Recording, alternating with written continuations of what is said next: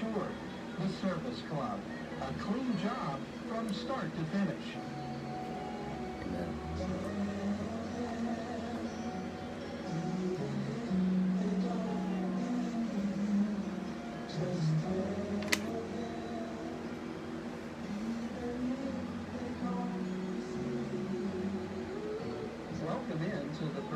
sermon broadcast with your host, Minister Alvin Scales. And now let's join in to today's.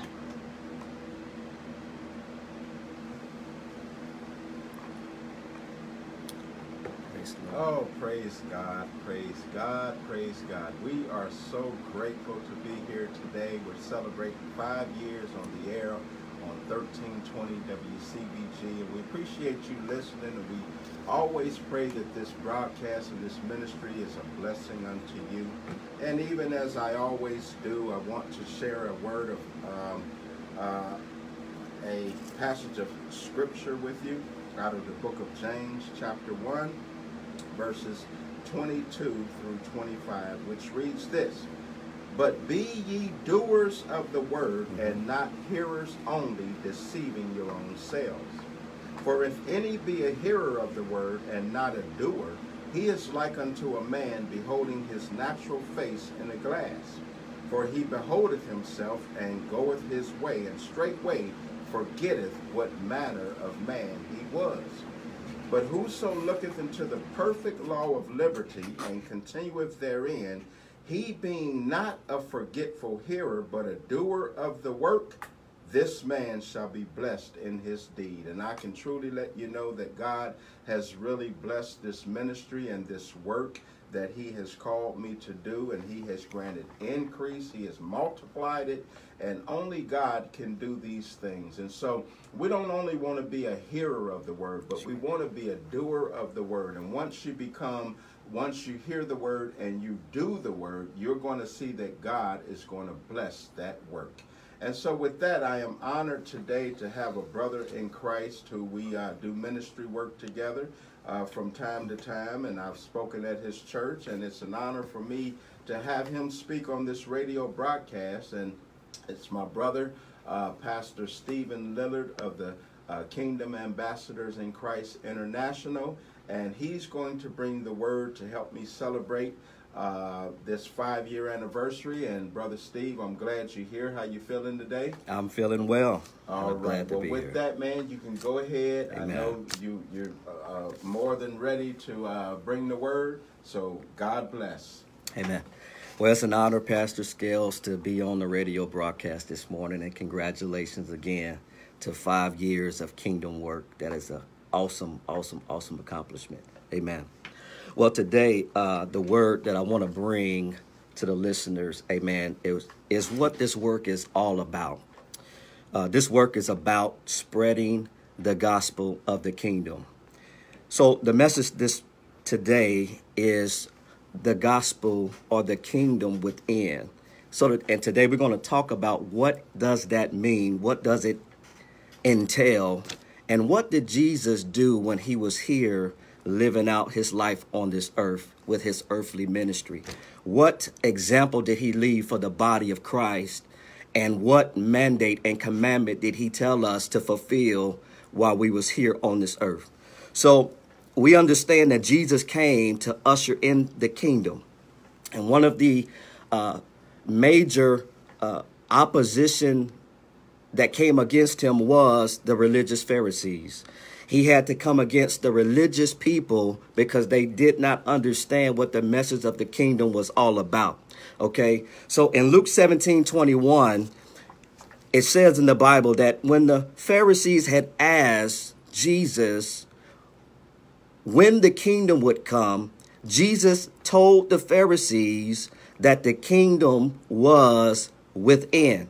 So let's talk about what the kingdom within really looks like. Okay.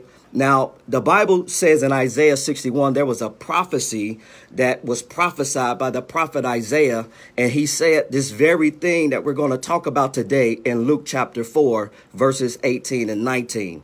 Now, this scripture was fulfilled by Jesus 700 years after the prophecy was given. Okay. So in Luke chapter 4, verse 18 and 19, the word of the Lord declares, and Jesus said, And the Spirit of the Lord God is upon me, because he has anointed me to preach the gospel to the poor. Now, this is the very first thing that Jesus said in his earthly ministry about doing the kingdom work in earth was to preach the gospel to the poor.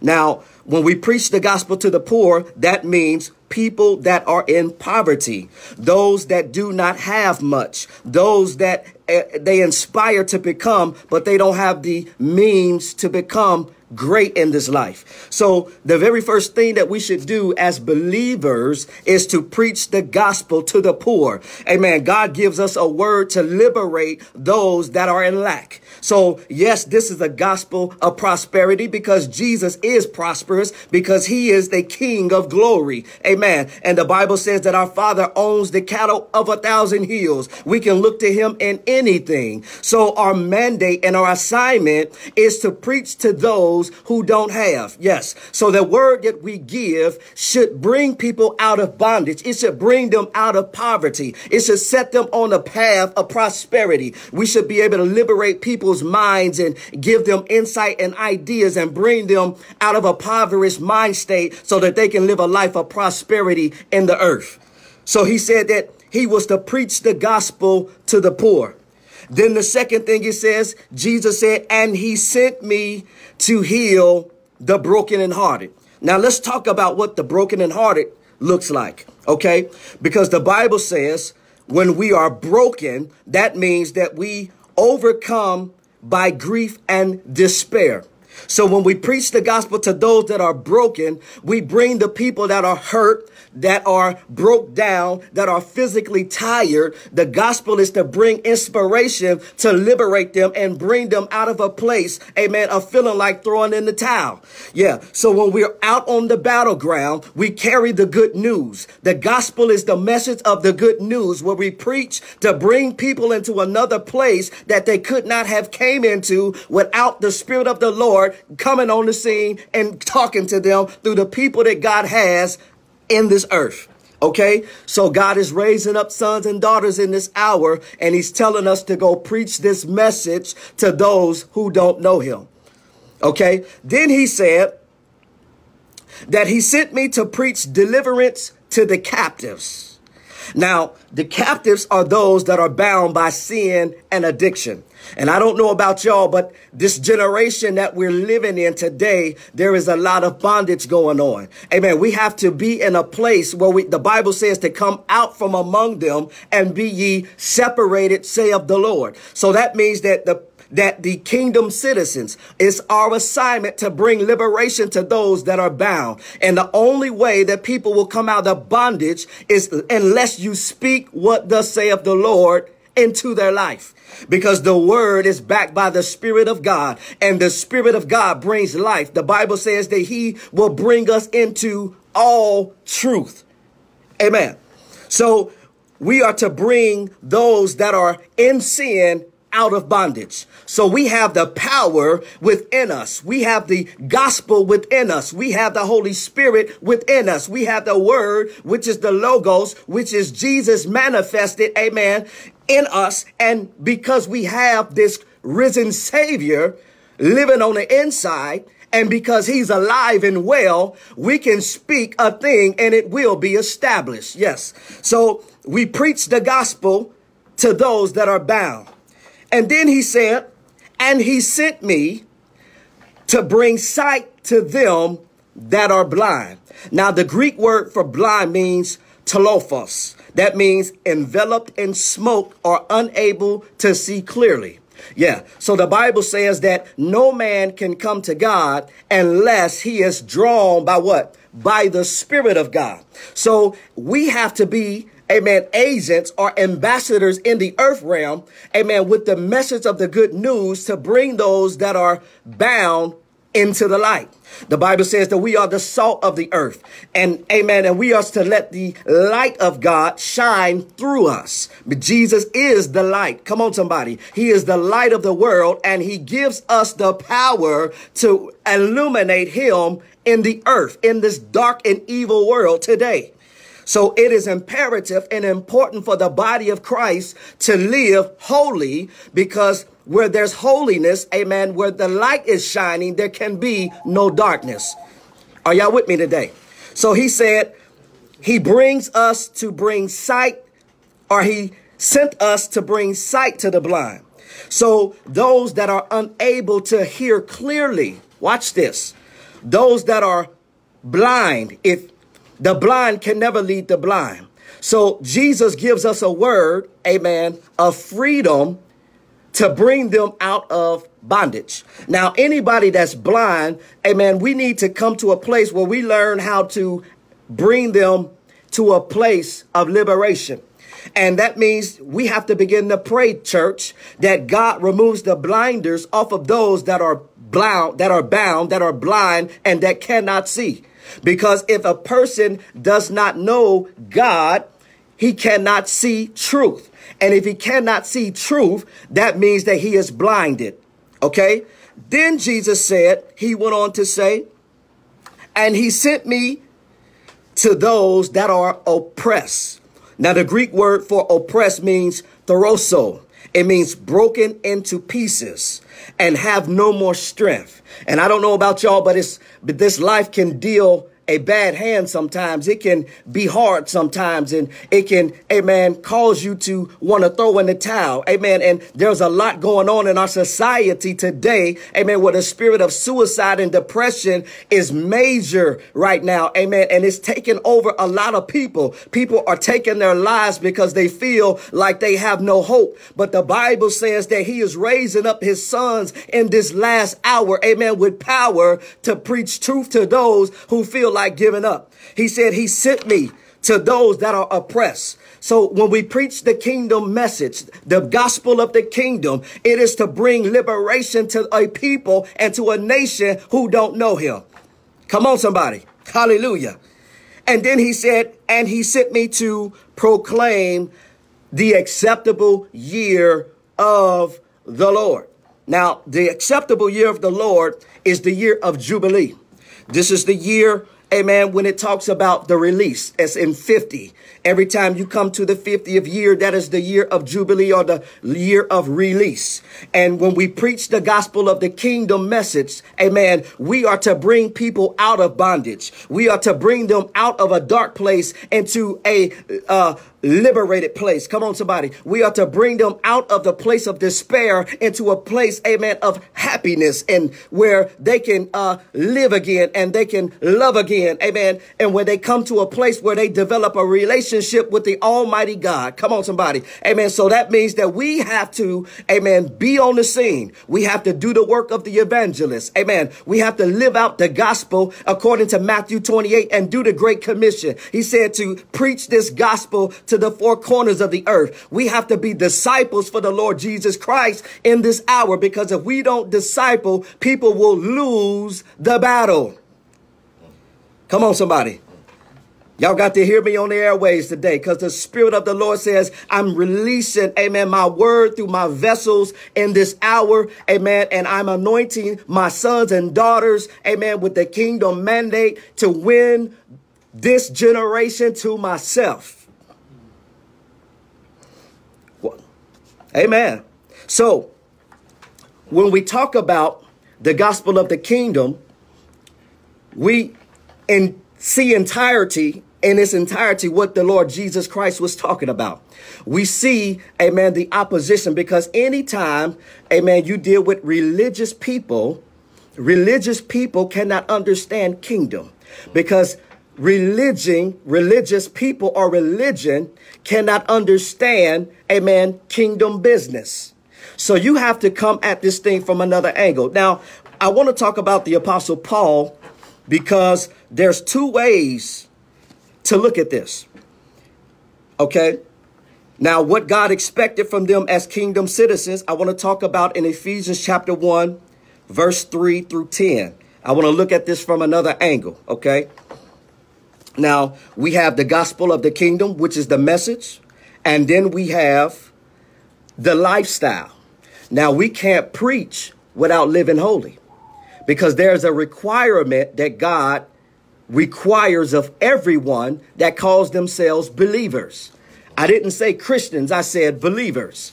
Because anybody nowadays can call themselves a Christian, but it takes a believer to live holy. Because anybody can say that they're living holy, but the devil can preach, but the devil can't live holy. So let's talk about what the apostle Paul said in Ephesians chapter 1, amen, when he was uh, uh wrote the letter to the church of Ephesus, amen, when he was in prison. Now the Bible says, verse 1.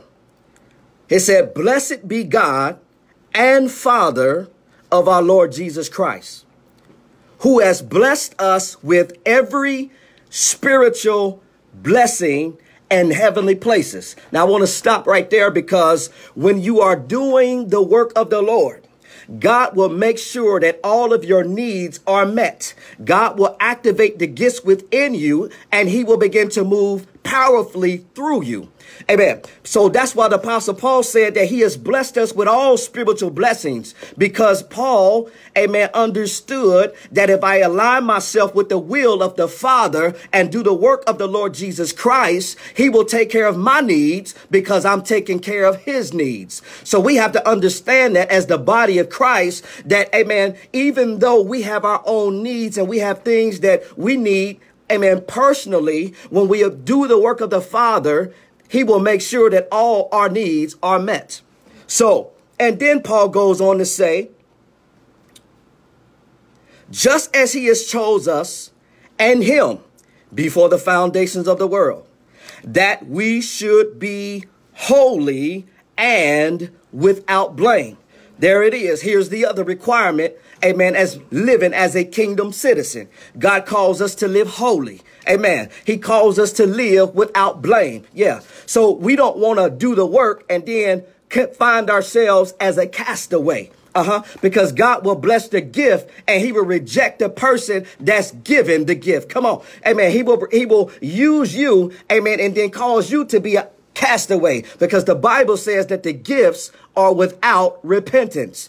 Yeah. So we need to make sure that we're not just operating with gifts, but we're led by the Spirit of God. Because the Bible says they that are led by the Spirit of God, those are the sons of God. Now watch this. There's different type of relationships. Amen. When you deal with Yeshua, amen. You have servants, you have friends, and then you have sons. These are different levels of, amen, relationship with the master. Come on. Amen. So servants, they, they, they, activate and they do service unto him. Amen. They may be uh, connected to him, but they don't really know him. Amen. And then you have friends. Now, let me just talk about Pastor Alvin Scales and I. We have a pretty good friendship, amen, and we know each other as friends, amen. And friends, that means he may know some things about me and I may know some things about him, and, and that's a good thing, amen. But when you talk about sonship,